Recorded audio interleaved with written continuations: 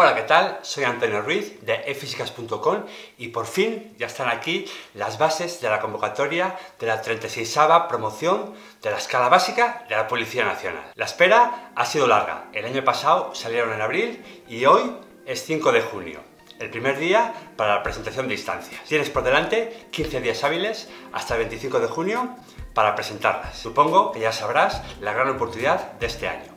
2.500 plazas 2.000 en oposición libre y 500 para miembros del ejército. Y decirte que hay novedades respecto a la convocatoria del año pasado, del 2018, en las pruebas físicas. Te hablaré de ellas al final del vídeo. Y antes de entrar en materia, has de saber que si te vas a presentar y no conoces este canal, estás en el lugar adecuado. Tienes a tu disposición la serie de vídeos más completa sobre preparación para cada prueba física. Haz clic aquí arriba si quieres ver la serie sobre los 1000 metros, con nueve vídeos actualmente, donde te cuento las circunstancias especiales del día de la prueba, cómo comenzar a entrenar, o sistemas de preparación más avanzados. Haz clic aquí arriba para ver la serie sobre circuito de agilidad, con 5 vídeos actualmente donde te presento un método de preparación para dominarle. Haz clic aquí arriba para ver la serie sobre suspensión, con 5 vídeos actualmente donde te encontrarás trucos y ejercicios para aguantar más sobre la barra. Y haz clic aquí arriba si quieres ver la serie sobre dominadas,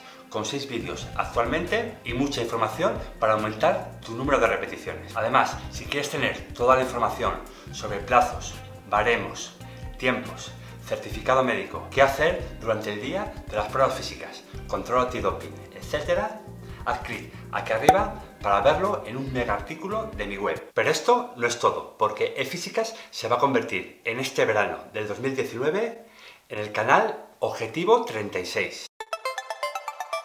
A lo largo de estos meses vas a descubrir vídeos especiales de cómo debe ser la preparación de unas pruebas físicas durante los últimos meses. Nuevos vídeos de las series de cada una de las pruebas. Vídeos especiales sobre preparación mental y emocional para posiciones. Vídeos sobre tapering, es decir, qué debes de hacer las dos últimas semanas antes de la prueba. Vídeos con respuestas a tus preguntas Sí, sí, a tus preguntas. Si quieres, puedes ponerlas ya en los comentarios de este vídeo y te responderé encantado. Y si hay peticiones suficientes, haré un live para responder tus preguntas en directo. Este verano, físicas es Objetivo 36. Vas a llegar a Ávila, o Las Palmas, o Mallorca con la seguridad de conseguir una gran puntuación.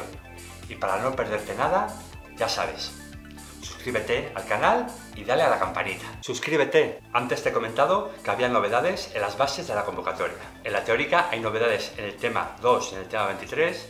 A partir de ahora se va a poder grabar la entrevista personal, pero lo que más incumbe a este canal son las novedades en las pruebas físicas. No te preocupes porque las pruebas son las mismas el 1000, el circuito de agilidad, dominada chicos, suspensión chicas. Pero la noticia es que ahora vienen mejor explicadas. Es de agradecer porque llevamos varios años sobre rumores, opiniones, sobre lo estrictos que son los jueces, especialmente en las pruebas de barra. Parece que se confirma en negro sobre blanco la rigurosidad de los jueces. En el circuito no hay novedad, simplemente se ratifica que la salida se dará a la voz de ya. No dicen nada si van a decir preparados, listos ¿Por qué? En el 1000 se confirma que no se pueden correr con clavos y que te pueden expulsar si tienes algún tipo de comportamiento inadecuado, especialmente empujones en la salida o en las curvas. Y el meollo, como te acabo de decir, está en las pruebas de barra en las dominadas y en la suspensión. En ambas se tiene que tener el cuerpo totalmente estirado y no se permite ni oscilaciones ni balanceos. No se permite ni guantes, ni magnesio, ni sustancias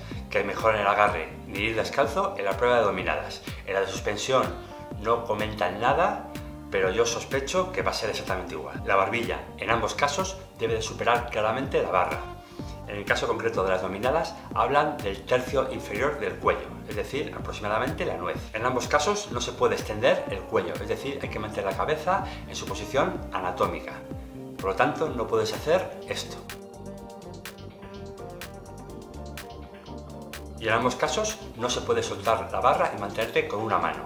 Además, en dominadas hablan de un tiempo máximo de mantenerte en la posición final con los brazos estirados de 5 segundos y un tiempo mínimo para evitar el ciclo acortamiento-estiramiento. Estas novedades en las pruebas de barra merecen un vídeo aparte, en el cual te voy a explicar cuál es la técnica correcta de ejecución y cómo debes de entrenar para evitar nulos y balanceos. Estará muy pronto en este canal y ya sabes lo que tienes que hacer para no perdértelo.